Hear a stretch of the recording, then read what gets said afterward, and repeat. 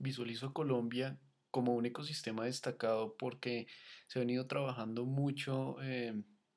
y con grandes esfuerzos en el tema de innovación, en el tema de emprendimiento, sobre todo porque ya queremos de alguna forma salirnos de los parámetros tradicionales, eh, salir de esa caja y pensar en cosas nuevas que generen una evolución a lo que actualmente conocemos.